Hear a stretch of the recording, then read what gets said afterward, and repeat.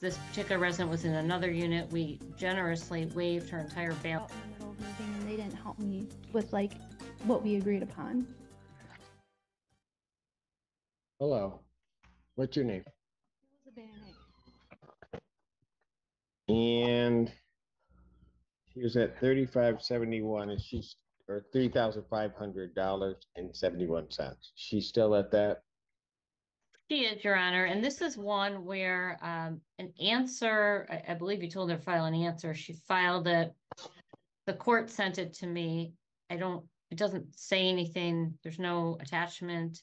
I'm not sure what the Yeah. defenses are. And frankly, Your Honor, I don't know if you recall, but this, this particular resident was in another unit. We generously waived her entire balance because she had repair issues. We moved her into a new unit. Now she hasn't paid any rent. I was locked out in the middle of moving.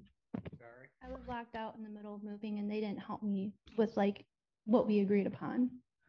You were locked out and they didn't help you. What do you mean by that? So it, remember how we were talking about uh, how I couldn't afford a moving truck and that they will figure out something for me. Right. They locked me out in the middle of moving. And when we got access, which was end of May, a lot of my stuff was stolen, including a firearm, all my small kitchen appliances, my daughter's brand new sheets, my security cameras. So what do you, what do you mean they locked you out? I don't get it. Like I, we didn't have access. Like they changed the locks On your, on my pre, yes. I would, I did not render the old keys. I, um, I, and also. so in essence, so I just want to shortcut this. In essence, you're saying they changed the locks before you got all your stuff out. I don't know what to do at this point. Your, Your Honor, if I can add, um, I, I would respond, but I'd rather have Amy respond because she has direct knowledge of what happened, because I don't believe that's, that, that's our position. And I also don't believe it's relevant to this case, but that's a separate issue. I, I think it's worth responding to. Um, Your Honor, that's absolutely not factual. She signed a whole new lease. And I don't think, um, I, I don't think Ms. Lutkoff or anyone would volunteer us to, um, pay for a moving truck or use my maintenance guys to move her belongings, which is what Ms. Uh, Vanek seems to be under the impression that we offered her in court. Um, she was given plenty of opportunity. In fact, there was a lot of grace given here um, to remove her stuff. And in fact, she came in our office on several occasions saying she didn't have a babysitter, she had to work, her her boyfriend had to work, all these reasons. I locked down the apartment upon her signing a new lease, sir. She took possession of a new apartment, Your Honor. And yes, I locked down the unit. She did turn in keys to our box. And so I took possession of an apartment that she no longer had possession of, Your Honor. And she left Oh, was there stuff in there? Yes, my There stuff was, was in there there was and I have the keys boxes, I believe. I have the, key- So what, the keys I are mean, in my I back. I can't say whether she kept a set of keys or not, Your Honor, but what I do know is that way later after the fact, after she's been in this other apartment for quite some time, she's bringing up issues of stuff that she wanted out of the old apartment. And at that time, I had already started a trash out, Your Honor. I, I, I mean, she signed a whole nother lease.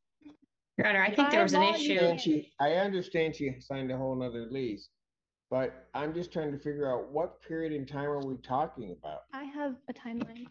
So Your Honor, I- didn't I'm gain, gonna just state, state for the record here that factually, just from a legal perspective, if she wants to pursue, she certainly can file an action for damages if she feels that her property has been damaged on another unit, but we're in court on this unit. And so I don't believe it's Well, relevant. yeah, but this unit, Miss Lukoff, that's disingenuous, because this unit only comes about because of the issues that were in the other unit. So to try to separate them out doesn't make much sense. Well, I, I think it does, Your Honor, because she didn't remove her belongings, but obviously this is your courtroom. Okay, I- but I'm that gonna- may be, that may be a defense to what she's claiming if she didn't remove the items. That may be a defense, but to say it has to be a whole another separate thing, I don't think that that's true. Well, I do because we're talking about a certain property Okay, address. then I'll that, take what she filed. I'll tell her to go up there, stamp it in as another case, and it's just coming back with this one. I don't know where that gets us. Well, I don't know what she filed. I mean, she didn't say anything in her filing, so, uh, but that's fine. You want to consolidate it, I don't have an issue with that. We can provide you documentation Well, as you to what happened. Well, you can what have an happened. issue with anything. All I'm trying to do is get to the bottom of this. Bottom line. That's all I want to know. And I want to know where I'm gonna take this case. So, So she can have her objections, you can have your objections. We're gonna do it my way. Go ahead, man. all right, so the reason why we're here is because I feel like I can't trust their maintenance people because my stuff was stolen. I don't want anyone coming into my Ma'am, apartment. ma'am, you were at the point of a timeline. Yeah, so the timeline is, we, we, I think we did our court date like April twenty-sixth, I think. And that's when we dim- dismissed the case, which honestly, I wish we had set things and, and, you know, whatever. Um, and then that next week or that Friday or whatever, whatever they had to finish with the apartment, I think we grabbed the keys like that Friday.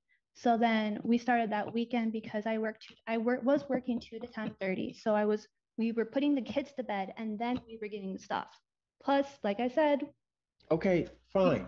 couldn't move it. So how much time passed between the time that you got the keys to the new place? It was like a week and three days.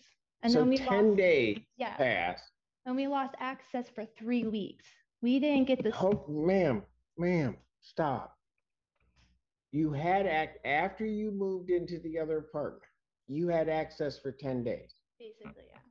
And you couldn't get all of your stuff out in ten days. No, Okay, that's gonna be a problem for you.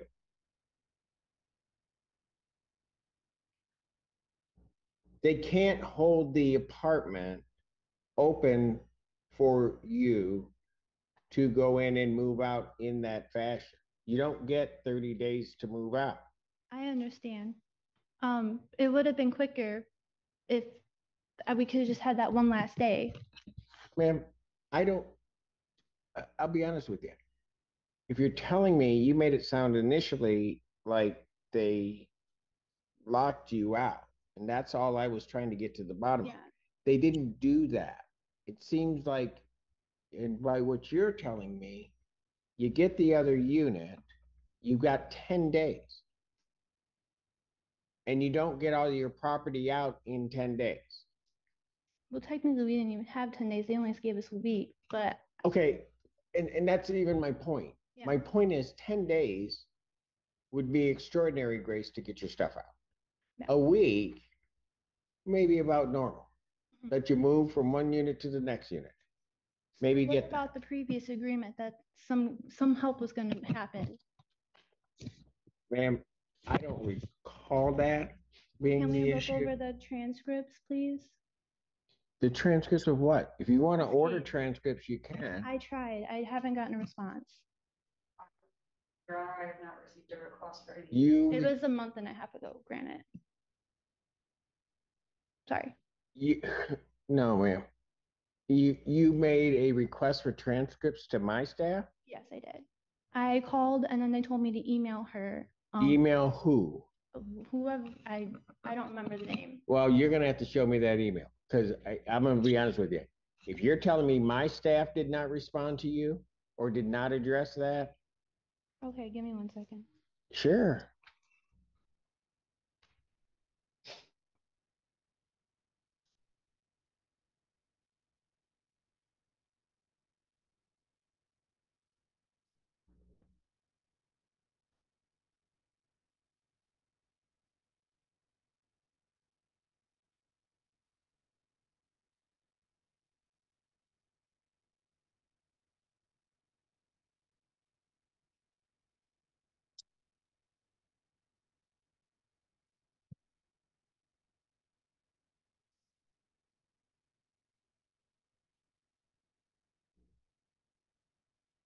Ma'am, while you're looking for that, who was supposed to help you move?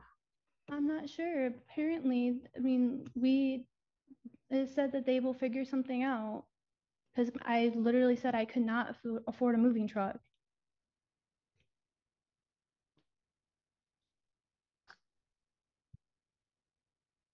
Ma'am?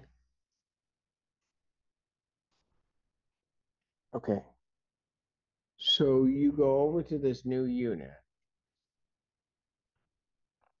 And you have not paid any rent in that new unit. And your justification for not paying rent in the new unit is because things got stolen from your other unit. Yeah. There is some major issues with my new unit though. And they said it was good to go. It's not good. It was not good to go. Ma'am, you paid no rent. Nothing. I don't think it's okay to steal someone's stuff, Well, they didn't steal it. except they did because we made an. You know agreement. what? Here's what we're gonna do. We're gonna set this for a trial. We're gonna set this for a trial on an expedited basis. Because, did you find that email to my staff? Because I don't believe that you're telling me the truth. I Because, ma'am, I'm gonna tell you what. When somebody tells me my staff didn't respond, I did call up here. I will say that. but you said you sent an email. Yes, unless I, it didn't, oh, it didn't. Well, I have it on here, but I didn't send it apparently. Well, I'm not gonna make you apologize to my staff for trying to say they didn't No, respond. No, ma'am, I'm just gonna tell you right now, here's how I work, and my staff knows this.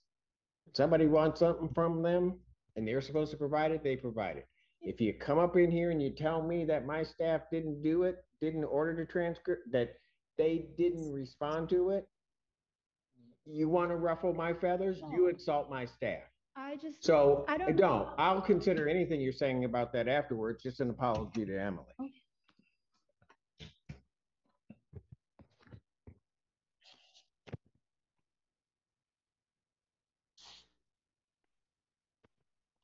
I'm Set, I'm just gonna set this for, fi- so- well, I'm just gonna set it for trial. I don't, the final settlement conference is gonna work. Give me a trial date on a Tuesday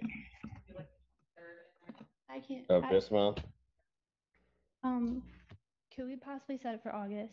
No, I, you have, ma'am, I'm not gonna delay this out. You, you paid no rent. okay, but I have a, I have a class on Tuesday. Ma'am, I get, we all have different things on Tuesdays. We all have different things, different times. I'm gonna set it for trial. You've not paid them any rent. You're claiming that they stole your stuff. You're claiming that they didn't help you. Well, I'm gonna get to the bottom of it, if that's what it is. So I'm gonna set non-jury trial in this matter Are we like, for July twenty-third. so does that mean like jury and stuff? No, ma'am, no jury was requested. July twenty-third, two thousand twenty-four. That will be at nine AM. That will be in person. Ma'am, you make sure that you have all of your witnesses, all of your evidence. We'll hear it then, and then I'll make my decision. Your Honor, can I just ask you, because I know I'm, I've, on that day, um. I have another, I don't think it's at nine AM, um, let me see. Oh, it is, okay. All right, and you, I, I understand you want this one in person, and so I'm not gonna request, even though it's past the deadline. Okay, thank you. Thank you.